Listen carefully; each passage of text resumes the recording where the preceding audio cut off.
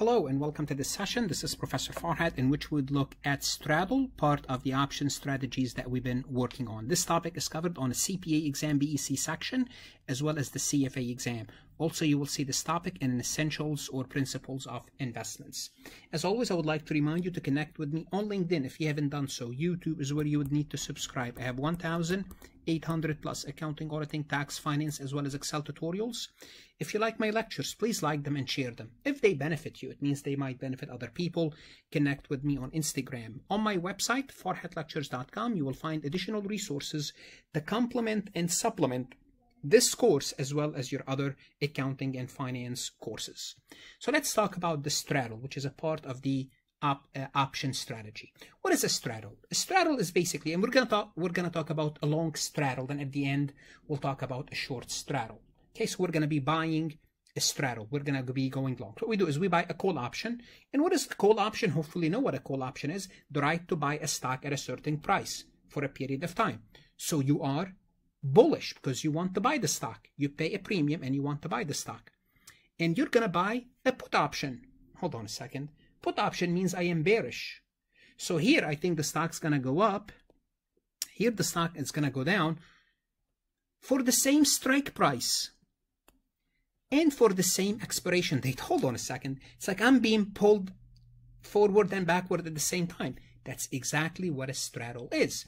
You're buying a buy option, a buy call, you're buying a call option and you're buying a put option, obviously for the same stock, for the same strike price. We're going to see it's at the money. It's exactly what the price is now and for the same expiration date. Now, why are you doing so? Well, here's what's happening here. You're expect you're expecting volatility. You don't know what, what direction the volatility is going to be, but you think the stock price will be more volatile than when the market is thinking.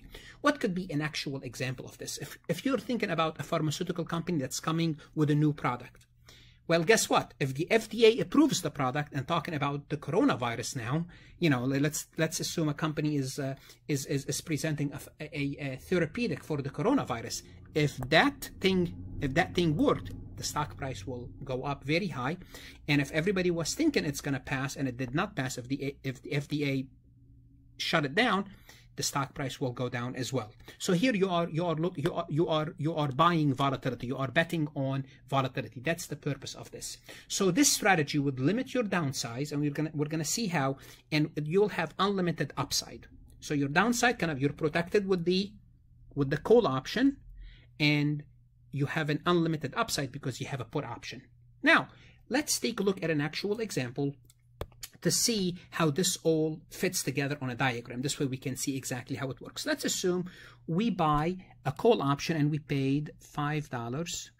And for the same stock and the same expiration, we bought a put option and we paid $7 per contract.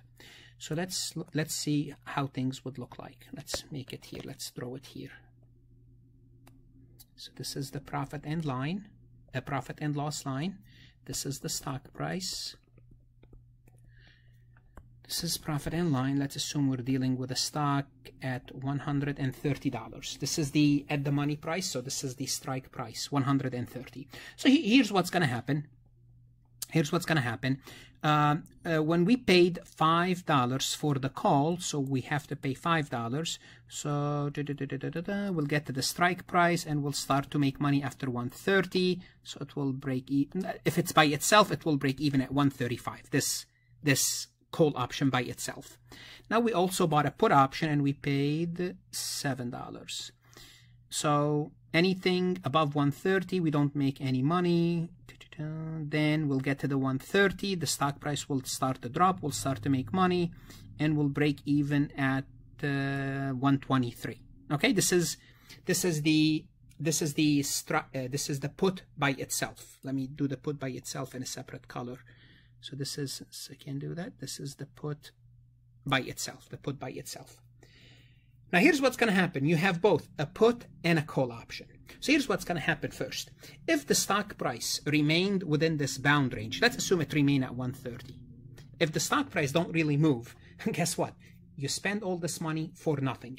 Therefore, you would lose, you would lose $12. So you would lose, if, if the stock price stayed at 130, you would lose $12 because nothing really happened if it moves up and down throughout the period and you don't do anything it's basically you you don't you don't really make anything. And if it moves up a dollar here you make a dollar here you would lose a dollar on the put. So really you want it to go outside the range. What range do you want it to go outside? Actually your actual break-even point is not these points. This is the break-even point. This is the break-even point. Let me put them in black if you have the option and the call by themselves but now you have both of them therefore your break-even it's going to be the strike price. It's going to be the strike price plus, so it's going to be 130 plus 12 plus all the premium. So on the up, upper side, you're going to have to get to 142. Okay, 142. And on the lower end, it's going to be 130 minus 12, 130 minus 12. This is where you break even. It's going to be 118. It's going to be, let's, let's say it's right here, 118. There we go. Now, here's what's going to happen. This is your actual break even. So here's what you want. Okay, here's what you're really looking looking at, the break-even point for this strategy. First of all, this this line, this blue line is your straddle. This is has a slope of plus one, and this is a slope of basically minus one. And here's what's going to happen.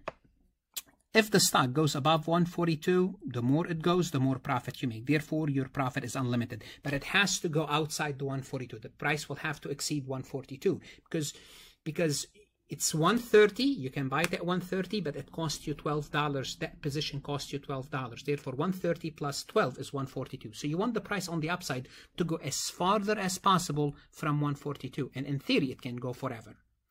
On the downside, what you want is you want it you want it, you want it to go below 118. If it goes below 118, you can put it, you can sell it to someone at 118 and it's below 118. So you can buy it at, for example, if it goes down to 70, you can buy it at 70 and put it to someone. You'll force someone to buy it from you, uh, to buy it from you for 130, but your break-even point is 118 and you will make the difference as a profit.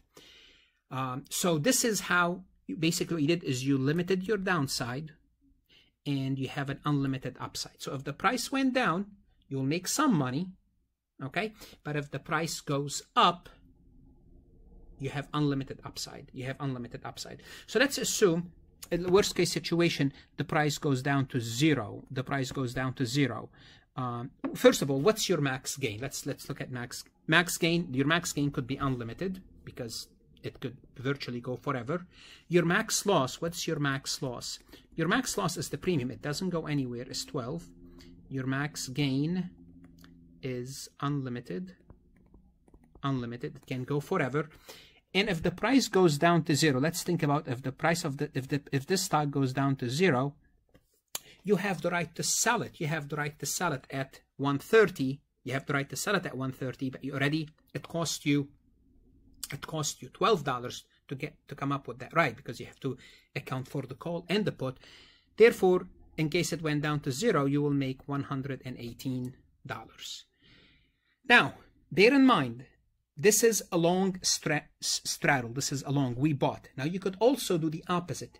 You can, rather than buy, you can sell a call option and you can sell a put option. Simply put, what's going to happen when you sell straddle, you are not betting on volatility you are betting and no at no volatility so what you do here it's from a graph it looks exactly the opposite it would look something like this and what you do with with a short straddle with a short straddle when you're selling it it means you want you want it to go to stay here. So simply put you don't want the buy the buyer to take advantage of this of the option. If you don't want it to, if you don't, you don't want them to take advantage you're just hoping the price does not does not it stay within the, this bound so the individual don't don't exercise. And you want it to be specifically at 130 at 130 you're like this is the best because you have the maximum profit. You you got your premium and they did not exercise any option. So this is basically the straddle strategy in the next session. We would look at spreads basically. In the next session we would look at spreads. As always i'm going to remind you if you if you like this recording to like it and share it. Uh, don't forget to visit my website, farhatlectures.com, especially if you're studying for your CPA exam. Study hard, stay safe,